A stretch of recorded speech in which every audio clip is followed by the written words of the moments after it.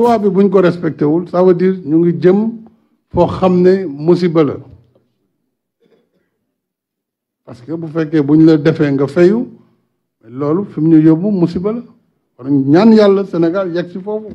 c'est pourquoi d'ailleurs maa ngi ñaan képp ki nga xam ne da ngay réagir il faut faire confiance à l'état de droit à la justice et aux forces de défense qui sont chargées bien sûr de protéger les citoyens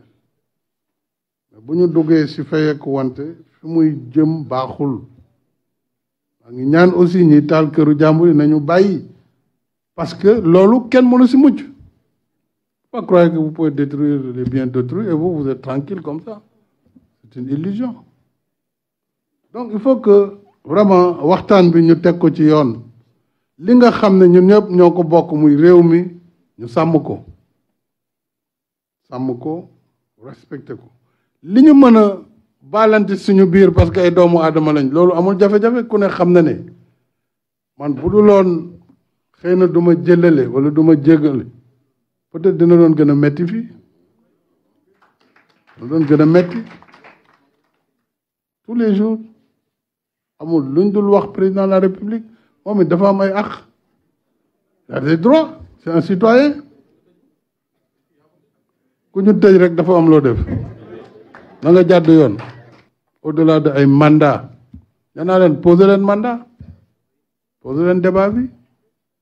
waaye li nga xam ne mënuma koo bàyyi mooy kuy jéem a faafaaga réew mi wala di ko jéem a yàq wala jàpp ne mën nañ fi installé kaw loolu moom lu mu jar dinañ ko si def mandat boo leen bëggee da ngeen koy ñaan ma ne leen jël leen soo leen bëggee waaye si njëkk nag si njëkk de waaye par force doo nekk doo doo doo nekk candidat ñu teg ko ci leen ci seen bëgg-bëgg mais au nom de quoi te ñi koy wax ñoo campagnoon le référendum bi bu oui jàllee président dana def deux mandats tout le monde le sait tout le monde sait lire le droit kon débat boobu duma ci dugg parce que débat dialogue bi la man nangu naa ñu débattre ko dans le dialogue man ma je nullement comme nangu naa ñu débattre l'ouverture et l'inclusion parce que c'est pour le Sénégal c'est pour l'avenir de ce pays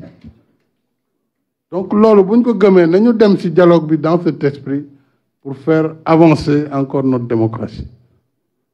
ne me demandez pas de croiser les bras face aux velléités de déstabilisation de notre pays.